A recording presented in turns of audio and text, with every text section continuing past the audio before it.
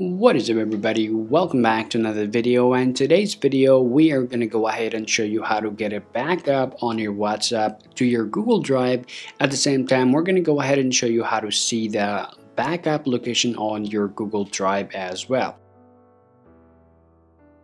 Now, of course, the first things we're going to be doing or showing you how to just get a backup. Now to do it, of course, you have to open up your WhatsApp application. Simply tap on this three dot, tap your settings, choose chat, uh, scroll down to the bottom and choose chat backup and now make sure you're actually connected with your Google account and your backup to Google Drive should be daily, okay? The right next things you gotta do, just simply go ahead and hit up backup.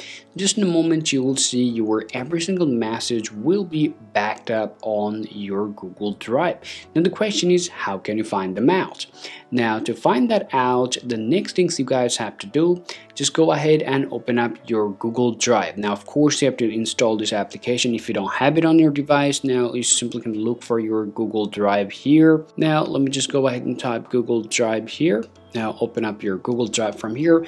Make sure to install it and afterward tap to open it. Now soon after you see your Google Drive is open up also make sure you're actually logging with the same Google account possible with this Google Drive. And right afterward just tap on the hamburger icon tap on this backup and here you're going to see your backup right now.